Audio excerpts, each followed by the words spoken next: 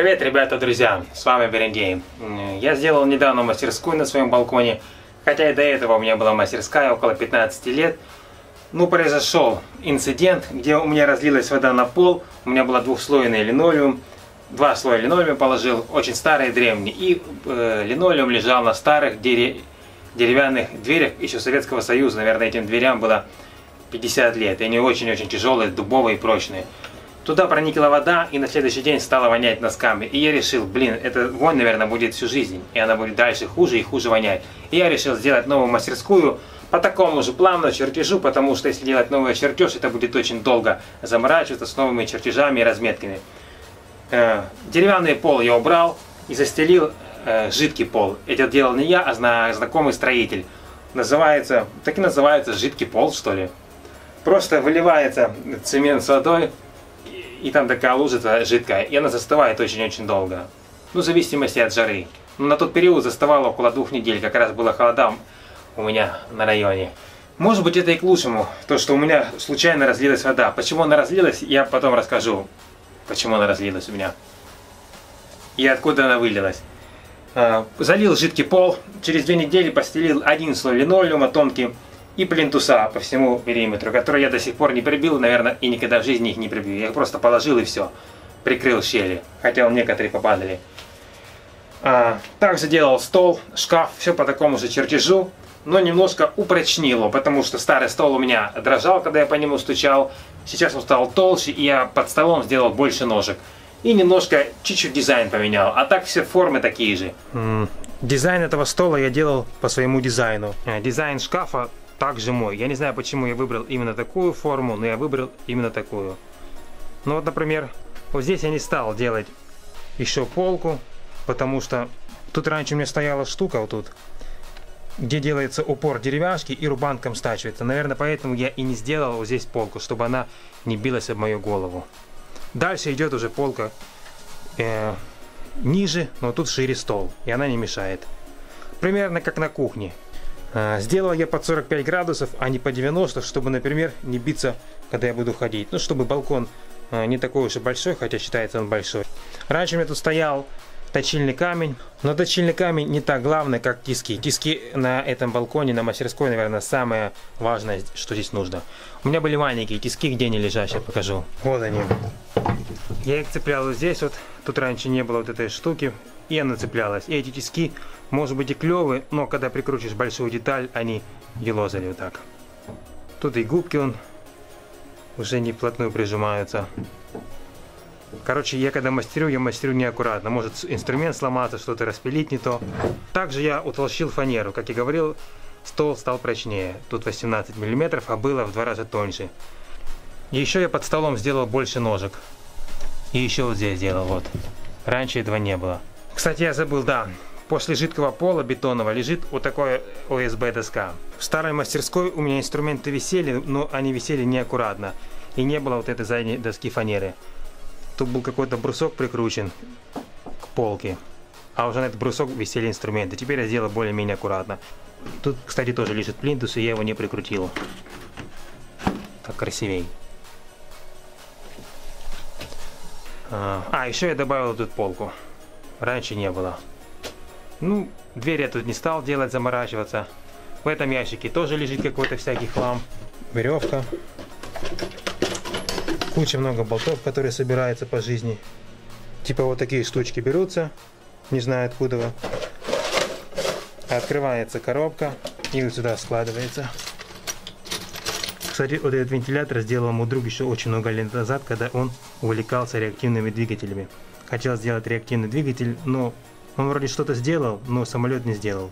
Блин, прикольно смотрится, да, вручную сделано. Ну и вот такие тут какие-то всякие запчасти. Глазок и, короче, всякое разное. Шкаф с дверью. Там лежит всякие жидкие смеси, краски, масла, растворители и даже спички. Отвертки у меня хранятся вот этой страшной, опасной, колючей банки, которую мне лень переделать. Так, еще очень важный момент. Это корабль, который я начал делать, наверное, около 6 лет назад, но так и не закончил. Обожаю делать корабли, но, блин, это очень долго и тяжело. Опять же нужно расчерчивать, потому что я точно не знаю, как делать. Смотрю чертежи на разных книжках, учебниках. Одного определенного чертежа нету. Со всех мест по чуть-чуть беру. Вот каюта босса. А, мне друг предложил вот этот корабль повесить вот тут на потолок. Как-нибудь под углом вот так, на тросик. И по нему пустить какие-то фонарики, лампочки. Я не знаю, типа как люстра будет такая. Ну я еще думаю. А, шлем супергероя царя Берендея. Это моя старая наловочка от подушки, чтобы не пылилась. Это советский лобзик, который раньше был длиннее, но я люблю все мини и я его укоротил. Да и мини как-то удобнее работать. Конечно, с большими деталями нет, но у меня есть для этого большой лобзик. А то вот эта дуга, она большая и перевешивает вот так вот, как бы тяжелее держать. Я укоротил, да и прикольнее, когда маленький. Как я говорил, у меня часто ломаются инструменты. Видите, пилки тут нет, я ее недавно сломал. А, по совету друга купил новые распили. Упала. Потому что те мои стерлись. Блин, а вот эти новые так быстро хорошо точат. Я аж офигел. И напильник. Рулетка, ножовка, который пилил спиннер. Все очень инструменты у меня многие очень старые. Блин, что я сказал? Короче, инструментов у меня очень много, и они почти все старые. Вот этот мини-лом я купил, просто купил его, не знаю, потому что я говорю, все люблю мини.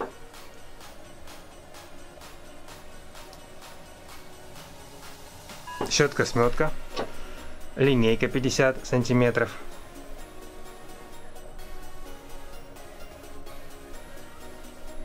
На магните. резьбонарезатели, которыми я почти никогда не пользовался. Кстати, при покупке я купил, я аж потом заметил, и то не сразу, что одного не было. То есть один я где-то вроде потерял, а другого не было. То есть еще в магазине его украли. А потом есть вот такой деревянный сундук, где хранится всякий хлам. Делал также сам его. Из фанеры. Вот это тоже фанера. Двух- или трехслойная. Вот так вот неаккуратно сделано. Что тут лежит? Резина из-под газели. Ну и резина протокладки можно делать какие-то разные. Ремень старый, из которого сделан чехол для ножа. А, есть и такая шкатулка, коробка, которую подарила мне бабушка, где раньше у нее лежали пуговицы, нитки, я не помню. Она была без петлей, но я петли тоже прикрутил также неаккуратно. Тут лежит тоже всякий разный хлам, который я не знаю вообще. Непонятно что.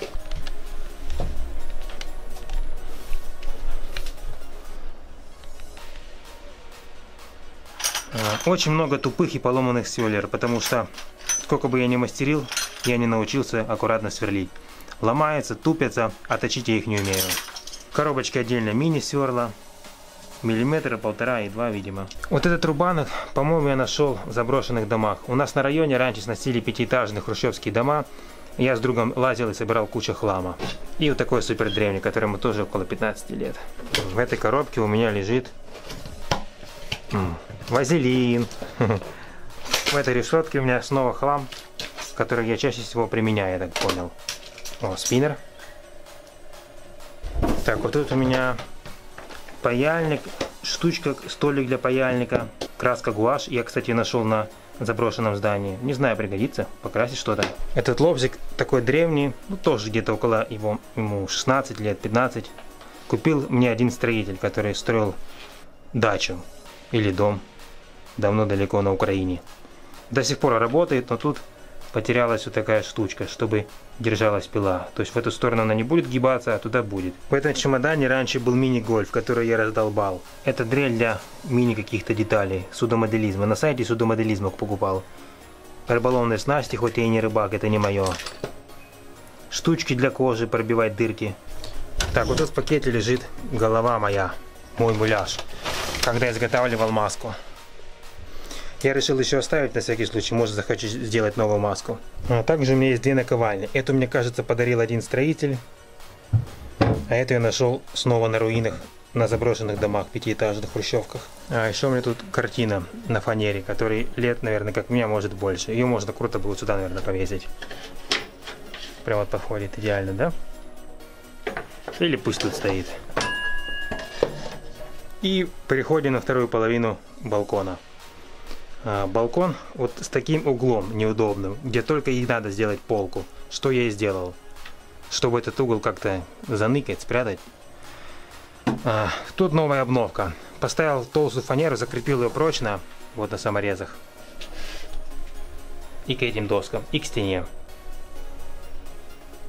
Картонная дружа отдыхает. И сделал новую точилку из того же мотора, новое крепление такое. Это дизайн друга. Кстати, это он делал, да, не я. Новый камень. И он сделал съемный камень. Раньше у меня стоял приклеенный камень. Теперь можно тут открутить и снять, поставить новый. А, вторая полка уже под хлам. Так, что у меня тут лежит? Это шиповник. Ягоды шиповника реально полезные ягоды. Вот тут у меня стоит самогонный аппарат, которым я дистиллировал воду. Но это очень долго, муторно и неудобно. Но тут такой хлам, который я очень редко применяю. Например, э, это я вообще не применяю, потому что я не строитель. Ну пусть лежит. А вот тут лежал мой дистиллятор. Я купил теперь вместо самогонного аппарата дистиллятор. Я пью только дистиллированную воду, вот уже полгода. И вот я подхожу к тому моменту, почему не разлилась вода. Короче, по моей тупости. Вот сюда скапывает вода, вот эту штучку, и она стояла у меня вот так вот. Вот так. И она капала сюда, вытекала на пол и, вы, и туда, туда вытекала. Хотя, перед тем, как ставить, я всегда внимательно смотрю, как будто реально какой-то полтергейст сдвинул ее. Поэтому надо еще более внимательно ставить, чтобы капала в эту емкость. А вот тут швейная машинка и санки для моего нового проекта, который я еще придумал зимой, но никак не могу сделать. Швейная машинка прикрыта тряпкой, потому что, чтобы она не запачкалась, хотя тут тоже есть тряпка. Швейная машинка досталась от соседей, умер сосед и просто оставил как бы в наследство моей бабушке, ну, нашей семье. Очень-очень давно. Ну, теперь она у меня, я ей пользуюсь. А, покрышки оригинальные. Шипами. Но я купил без шипов, потому что, чтобы ездить быстрее. Типа, чем гладкая и тоньше, тем ездить быстрее. А, ладно. Посох царя Берендея. Как тут вы, выглядит. А, вот ОСБ, а вот там бетонный пол.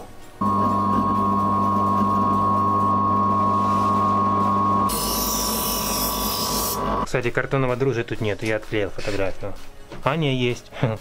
Ну ладно, отдыхай.